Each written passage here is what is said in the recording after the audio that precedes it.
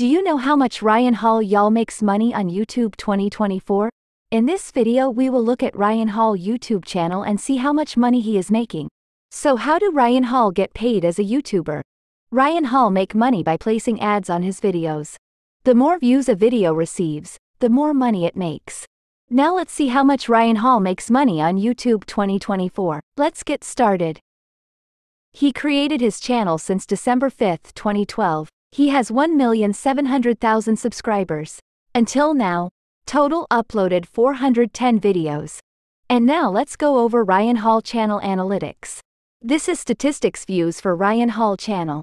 Daily views, 12,349 views. Weekly views, 86,443 views. Monthly views, 370,400 views. Total views, 191,976,000 views. Next, video performance on Ryan Hall channel. This is the lastest videos for Ryan Hall channel. This video has gotten 1,200,000 views and 2,900,000 views.